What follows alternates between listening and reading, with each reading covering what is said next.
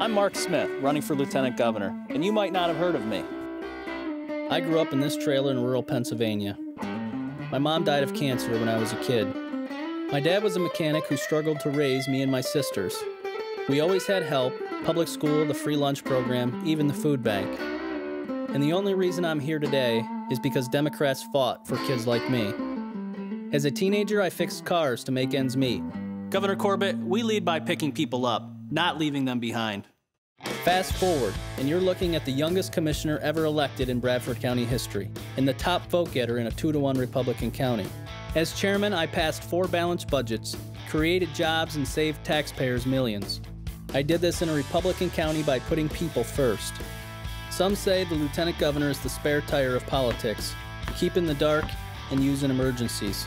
But I want you to know who I am and what I stand for. You may have heard about a guy kicked out of his Christian rock band for supporting marriage equality. That guy was me. I'm not a conservative, I'm the progressive choice.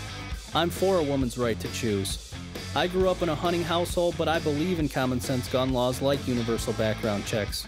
We should invest in universal pre K for our kids and a higher minimum wage for our workers. And when we invest our tax dollars in economic development, let's make sure we hire Pennsylvania workers first. My wife Jane and I want a Pennsylvania that has opportunity for all kids. Now you know my story, now you know my name. I'm Mark Smith running for Lieutenant Governor of Pennsylvania.